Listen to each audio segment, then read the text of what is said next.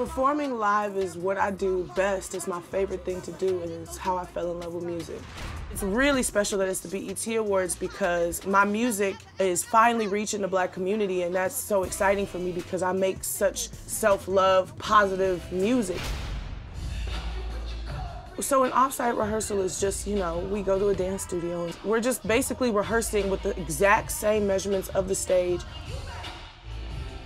We have this beautiful black wedding with all these beautiful curvaceous women celebrating themselves and celebrating their love for themselves with a wedding ceremony.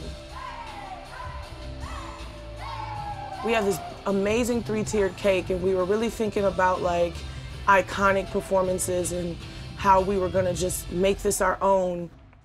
I'm getting married! Wait, don't tell nobody. I don't necessarily think we need it now that I added those claps. Working with Jemel has been really exciting. I was like, yo, I gotta have more dancers. We gotta step our game up. So bringing him in has been awesome. I remember I saw Janelle Monáe perform last year, and I was like, who's doing that? Whoever's doing that choreography, I want that person. Am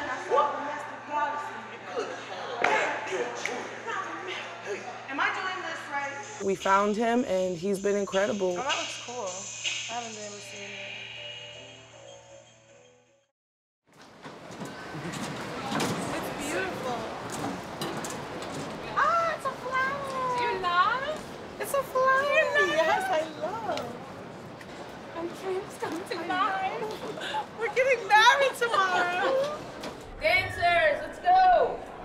was very surreal walking into the Microsoft Theater, seeing the cake and the screens and all the dancers on the cake and all of the things that we looked at in an email, like a map of the stage was actually there.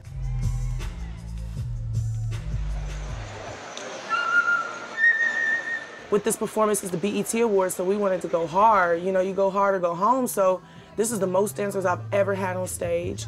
We found 20 curvy girls, 20 black girls doing the craziest choreography.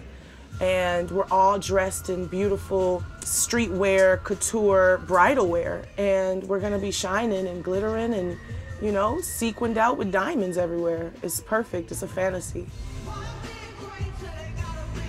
I was definitely with Jemel was giving him a lot of my opinions of running through a lot of this stuff for the first time. Like for instance, the bouquet was hella thick. Like I need to grab that bouquet on the fly and it was too thick for my hands. Another thing is the cake felt a little slippery and that was making me nervous. Little things like that, I really am just showing off who I am, showing off that rock and roll performer that everybody fell in love with and just having fun up there. That's my goal. I still can't believe that I'm gonna be performing on that stage and all those people, the little cardboard cutouts like Rihanna in the front row. I was like, this is about to be amazing.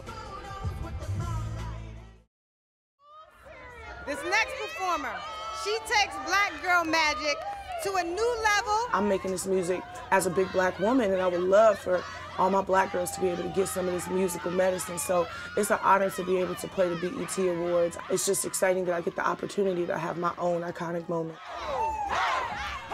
Give it up for Lizzo!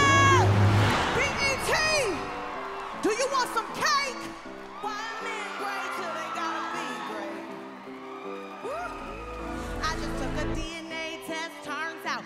100%. That bitch, even when I'm crying crazy, yeah, I got boy problems, that's the human in me.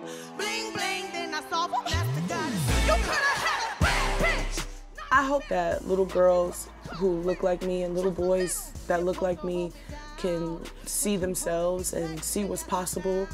I mean,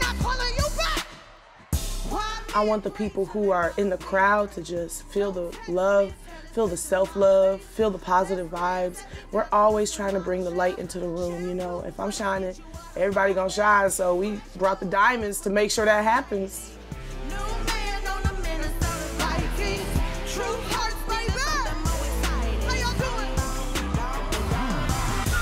I'm really kind of letting this full circle moment sink in, and it's just been really, really fun and exciting and uh, humbling to watch where I came from and where I'm ending up and where I'm going.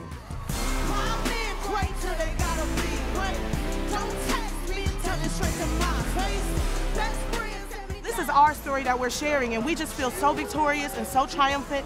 And that picture of us marrying ourselves in true love, that's the energy all 2019 to the future. Oh, I'm so proud. Oh.